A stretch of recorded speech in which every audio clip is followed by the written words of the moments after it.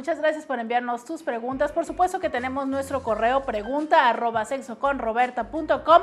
Claro que también te invitamos a que nos busques en Facebook como Sexo con Roberta. Y por supuesto, únete a nuestro grupo de solteros que cada vez somos más quienes estamos eh, formando esta comunidad para intercambiar información, conocernos y por supuesto, ojalá que sea un espacio donde muchos encuentren pareja. El único requisito es que sea soltero. Búscanos entonces en Facebook, busca solteros de sexo con Roberta y por supuesto que gracias por dejarnos todas las preguntas que dedicamos este tercer segmento para responder todos los días o bueno, todas las madrugadas. La primera pregunta es de un hombre y dice, hola Roberta, tengo una pregunta, soy una persona precoz, nada más tardo un minuto. ¿Qué me recomienda, doctor? Y bueno, es parte de lo que hemos estado platicando el día de hoy, pero fácil y sencillo y bueno, aprovechando que estás aquí, ¿qué se le recomienda, Andrés? ¿Cuál sería tu respuesta para alguien que nos dice, tardo menos de un minuto? Bueno, yo le, yo le recomendaría, primero platicaría con él sobre lo que habíamos comentado, de su cómo, cómo ve la sexualidad y cómo está, digamos, en cuanto a la sexualidad, en cuanto a su pareja. Eso es en primer lugar. La otra es darle el medicamento, darle el antidepresivo, pero si tiene menos de un minuto es muy difícil que responda de primera intención. Yo le agregaría una, eh, un anestésico local, que se aplicara el anestésico local una hora previa a la, a la relación, media hora previa, pero como comentaste, hay que lavarse muy bien el pene antes de que vaya a empezar, digamos, ya el juego sexual, porque si no le va a adormecer la vagina a su pareja y pues no va a servir de nada. Y bueno, esa es una alternativa. Yo también te sugiero que acudas con un terapeuta sexual que pueda de alguna manera reconocer si también hay un fundamento un poco más de cuestiones psicológicas o de relación de pareja y que por supuesto, siempre lo hemos dicho, entre más se puedan sumar las eh, posibles soluciones y conforme estas no contravengan, pues siempre será mejor encontrar una solución en conjunto. Una mujer nos pregunta, hola doctora Roberta, yo quisiera saber si es malo cuando se le rompe el frenillo del pene al hombre. ¿Esto es malo? ¿Qué es lo que se debe hacer para solucionar el problema? Pues bueno, ¿qué, mejor que el experto aquí? Sí, el, frenillo es digamos, es lo que detiene el prepucio, la piel que cubre el pene, el, el glande, lo, este, digamos, es lo que lo mantiene adherido ahí y por ahí pasa una arteria muy pequeña, pero esa arteria cuando se corta sangra muchísimo. Entonces simplemente si pasa es presionarse, que deje de sangrar y después tiene que acudir con el urólogo, porque realmente lo que ya una vez que se rompe, la cicatrización va a ser muy débil. No le, va, no le va a dar el tiempo suficiente para que cicatrice y haga una cicatrización fuerte, porque el paciente, aunque no quiera, puede tener erecciones nocturnas y eso va a estar lastimando esa herida. Entonces, una vez que se hizo la lesión, si se pudo controlar el sangrado con la pura presión, bueno, pues con calma va con el urólogo. Si no sangra, bueno, si, perdón, si sigue sangrando, un servicio de urgencias se le, se le fulgura esa parte, se quema con un aparato especial, deja de sangrar y se resuelve. Y bueno, ya que estamos hablando del flenillo, eh, platícame un poco porque hay diferentes opiniones que yo he escuchado respecto a que es un área muy dolorosa para estimular, pero por otra parte también hay quienes dicen que lo encuentran extremadamente placentero, ¿no? Incluso hay quienes eh, gustan un poco del dolor y pueden tolerar eh, alguna estimulación ligera con los dientes. ¿Es doloroso? ¿Lo buscamos, lo tocamos o no lo brincamos? Bueno, es, ahora sí que es muy personal. Hay gente, hay gente que tiene inflamación y agrega agravantes, digamos, a la sensibilidad. Pero es una zona realmente, si es una zona muy sensible, pero sí una mordida va a doler. O sea, es una zona eh, extremadamente sensible que cualquier estímulo mayor, mayor al, digamos, a la superficial le va a generar dolor. Y el problema ahí es, por ejemplo, una mordida le puede generar infección y ahí sí es un círculo vicioso, porque entonces sí va a terminar el paciente. Si no quería hacerse circuncisión, bueno, va a tener que terminar en circuncisión. Y entonces eso me parece importante aclarar que para quienes estén pensando dónde lo tienen o estén queriéndoselo buscar, esto es exclusivamente de quienes todavía tienen prepucio, ¿cierto? Así es. Bueno, hay pacientes que, no es, no comparto eso, pero hay pacientes que quieren que les dejemos el frenillo porque resulta estimulante para ellos. Entonces, cuando hacemos una circuncisión y dejamos el frenillo, eh, bueno, yo no lo dejo, pero cuando se deja el frenillo realmente es una cirugía incompleta. ¿En verdad? ¿Hay quienes lo piden? Sí, hay pacientes que piden o hay pacientes que no se quieren hacer la circuncisión porque tienen la sensibilidad o quieren conservar la sensibilidad del frenillo. Entonces, digamos, es una es uno de los motivos por lo que algunos... O sea, es como algo así como si le dejaras un copete Pero realmente sí, es como, pues, queda como un pequeño cuerno, ¿no? En la, en la piel ahí. Wow, de lo que se entera uno, me encanta esto. Eh, un hombre pregunta, hola, ¿qué consecuencia puede tener el hecho de que me masturbe a diario? Es algo que lleva, ah, es algo que forma parte de mi vida, llevo 25 años haciéndolo. ¿Cuántas veces se pueda en el día? En tu consulta, ¿cuánto es lo más que han llegado? Esta es una pregunta ya más bien curiosa, ¿no? ¿Cuánto es lo más que te ha dicho algún hombre que se masturba en el día? Bueno, lo más es una vez al día y generalmente son gente muy joven.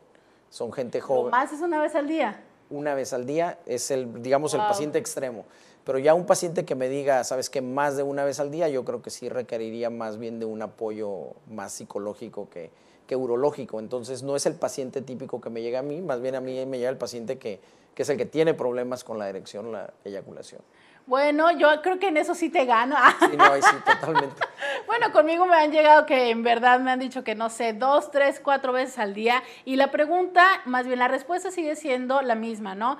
Hay diferentes elementos. Ya lo, ya lo compartíamos con Andrés en los segmentos anteriores cuando hablábamos de mucho tiene que ver la manera en la que lo haces. Si estás centrado en la sensación en general, si estás apresurado buscando solamente eyacular y que esto vaya a hacer que tu cuerpo, pues de alguna manera vaya tomando una condición que cuando estés en un proceso de relación con alguien más te dificulte el estar atento a tus sensaciones, el hecho de que, por supuesto, empiece a implicar alguna dificultad en tus propias eh, actividades, ¿no? O sea, si empieza a interrumpir tus horas de sueño, tu alimentación, tu trabajo, de manera tal en que prefieres estarte masturbando y, por supuesto, el hecho de que nunca lo prefieras o no sea que lo prefieras sobre el estar en un encuentro con tu pareja. Cuando estos elementos empiezan a estar presentes, por supuesto que estamos hablando de una condición que ya requiere una atención. Si lo vives en libertad, con placer y en verdad, bien honestamente, que sea algo que puedas dejar de hacer cuando así lo decidas,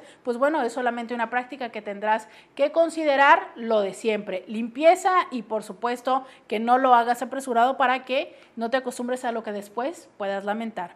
Una mujer pregunta, hola Roberta, ¿por qué motivo mi esposo solo dura uno o dos minutos cuando estamos haciendo el amor? ¿Qué puedo hacer él o qué puedo hacer yo para que dure mucho más tiempo? Bueno, en verdad, yo siempre se los he dicho, preguntas que son muy, muy, muy frecuentes son justo las preguntas que tienen que ver con el tiempo.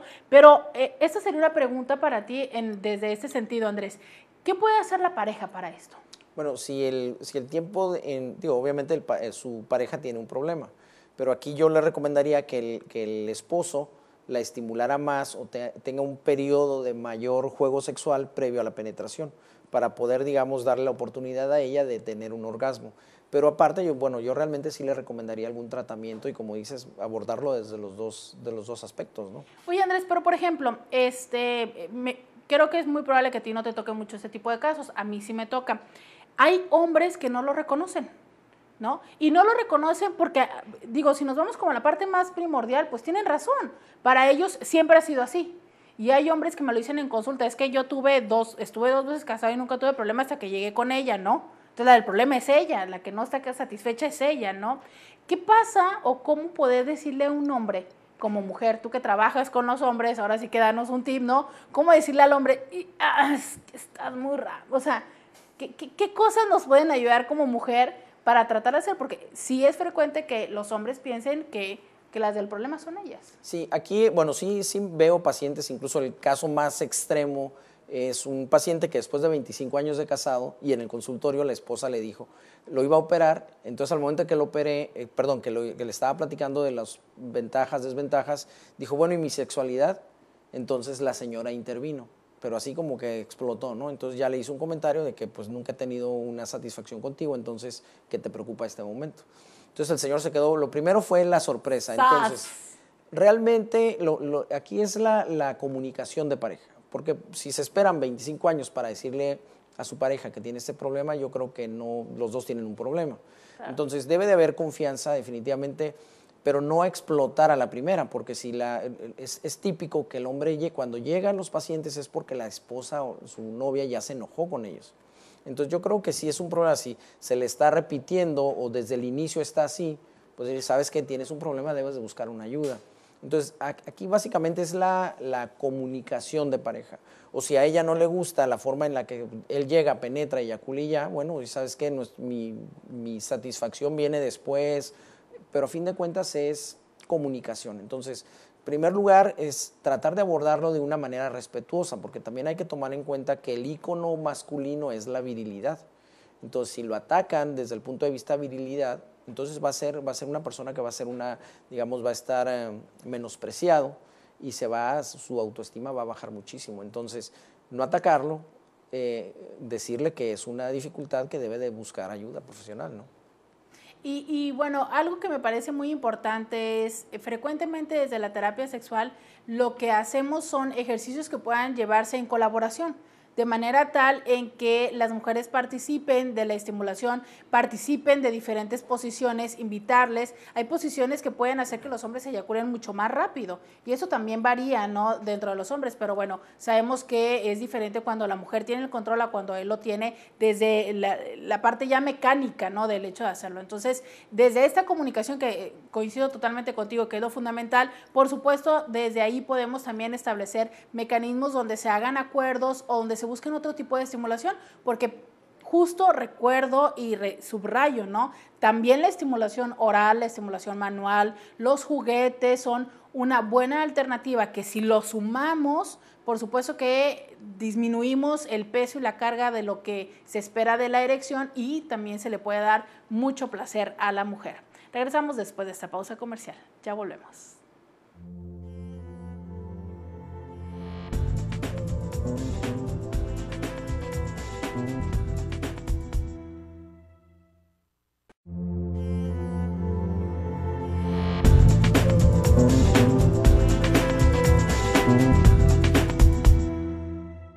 Si quieres solucionar un problema personal, algo en tu relación de pareja o solamente quieres consejería, algunas preguntas respecto a la sexualidad, por supuesto, márcanos 681-1993, el centro especializado en psicología y sexología integral, el primero en la región con más de ocho años de experiencia. Somos tu mejor opción. Roberta Medina, psicóloga, sexóloga y terapeuta sexual, 681-1993 o búscanos en Facebook como Sexo con Roberta.